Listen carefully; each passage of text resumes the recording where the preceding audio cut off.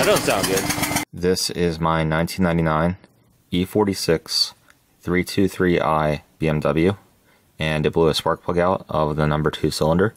So we're going to try and TimeSert it today to fix it.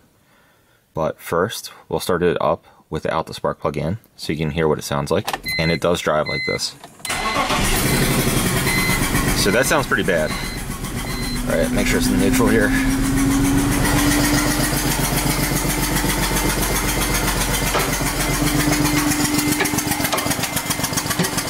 That doesn't sound good.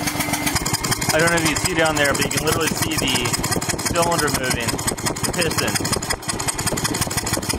It looks fine, it looks clean. I don't know what the popping sounds are. It might be backfires. At least I'm hoping that's what they are. Alright, well this is new. It was not doing this before.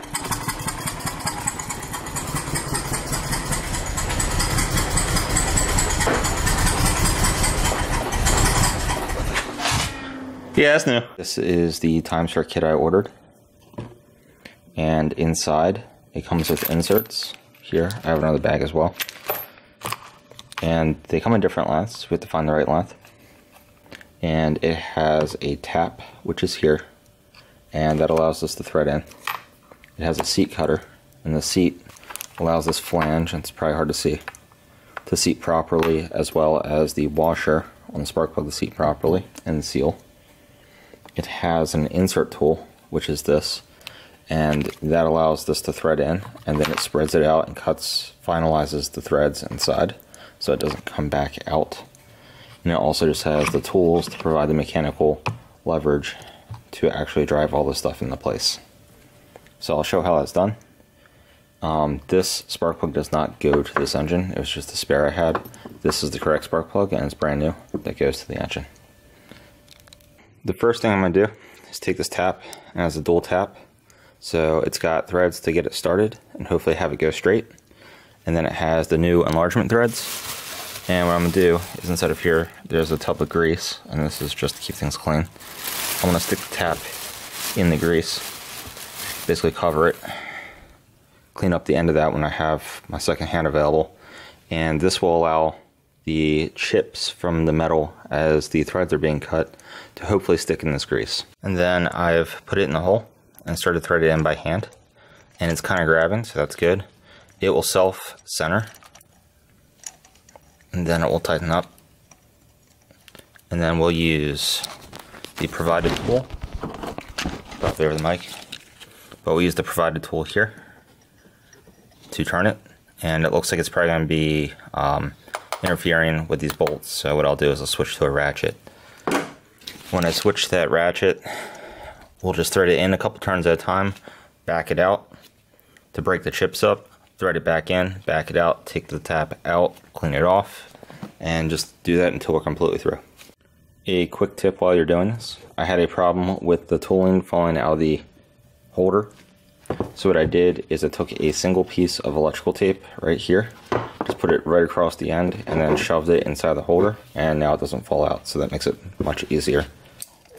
Just cut a few threads at a time and then you just back it up, break the chip and keep going. Alright, and you start to see the chips here. It's actually not bad at all so I can go much further. But what we'll do is we'll clean these chips out and keep going. I probably went too far on that one. I'm through. I can feel I'm completely through the head. So we're going to put the insert in. Now that we cut the threads, we're going to thread the tap back in, and that's used as a guide. Then we're going to use the seat cutter, which, which goes around the tap to cut a new seat. And then we can thread the insert in. The, the seat has been cut, the threads have been cut. We're going to insert the insert into the head, and hopefully this will work. It says to be clean. There's only so much I can do. The hole has very tight access, so I think everywhere this is going is clean, but there is grease in there. The insert is installed. Got our spark plug. Hopefully it will go in. Before it wouldn't catch at all. I should have grabbed a video of that, but I forgot to. So it seems like it's starting in. That's good. And I'll come back because the rest of this is really just the same as installing a spark plug. Alright, so it did tighten up. It's in. It did not come off on the end of this, which is an improvement from before. All right, new boot. The spark plug's tightened down, no problem. The old boot is completely destroyed. So let's pop it in and hopefully it'll work. Here goes nothing. New spark plug installed, new coil installed.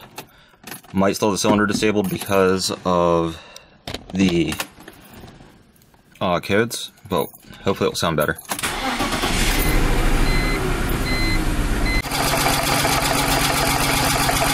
Okay, I'm beginning to think this car has uh, more problems than just the blown out spark plug at this point. That's not good. Alright, here's the deal. Clearly we fixed the spark plug, the noises aren't nearly as bad. I'm still hearing something. It actually sounds like it's coming from probably cylinder number 5. But cylinder number 5 seems to work. So maybe that spark plug's loose, I'll check it here in a second. But here's the bad news. If I disconnect cylinder number 1 here, and I did this on all of them, you can hear the engine rev down.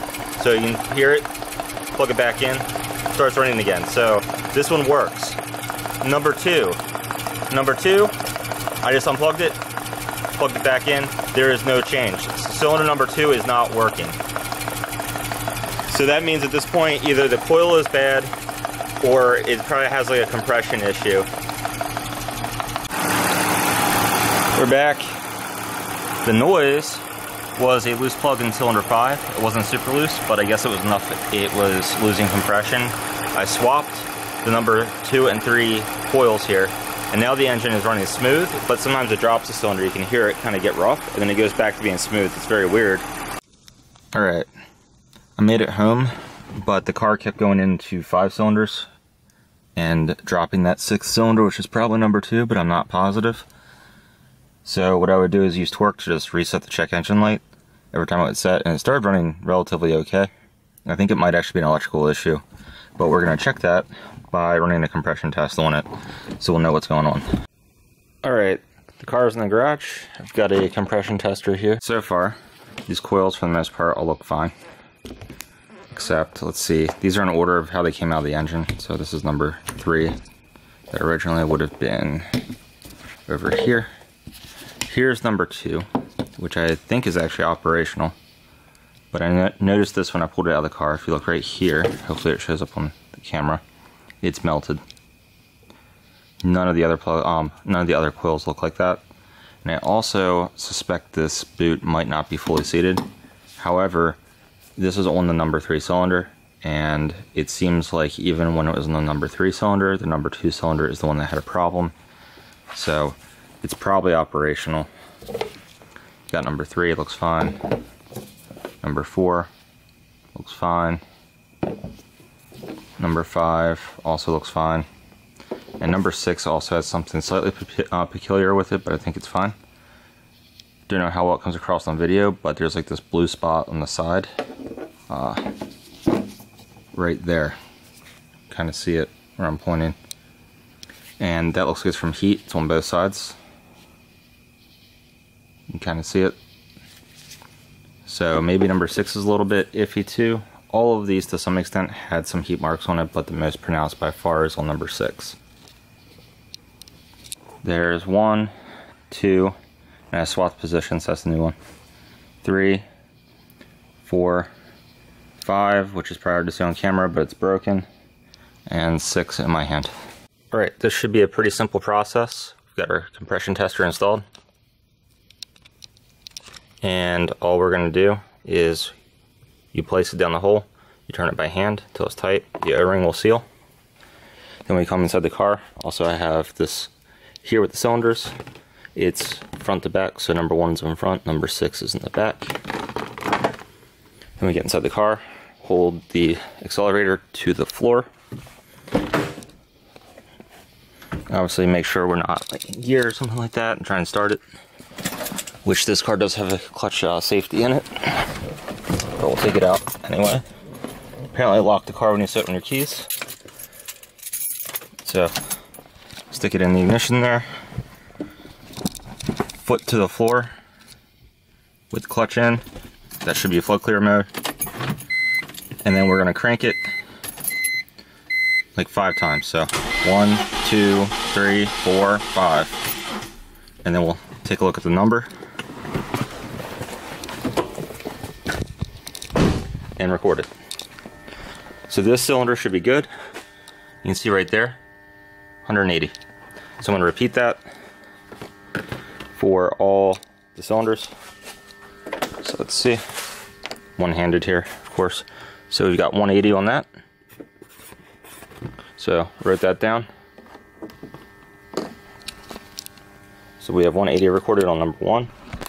We can reset the gauge by pressing in this button. Lets the air out, move it to the next cylinder. So I'm gonna do that for the next six and or next five, and we'll see what the result is.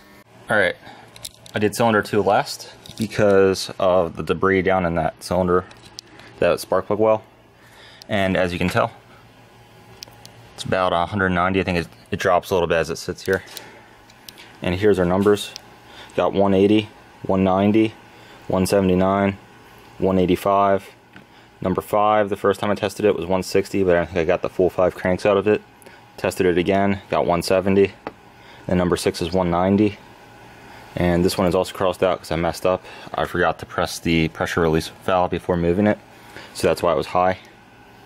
I want to check number five again. But if there's a weak cylinder in this car, it's number five. I think all these numbers are even enough. The car should run okay. So the most likely cause here is probably uh, electrical in nature or it's because of the mismatched spark plugs or it's because of that spark plug that was broken in number five. I tested number five again and this time you can see almost 180 so that puts it in line with the rest of them. The difference here is I did get the five cranks out of it. Some of these were more like six cranks and I had it on the battery charger, which most of these were. It uh, kicked off right when I was doing that cylinder, so that probably explains the discrepancy. Uh, everything looks very even, very healthy on this engine, so I'm going to put it back together and end the video.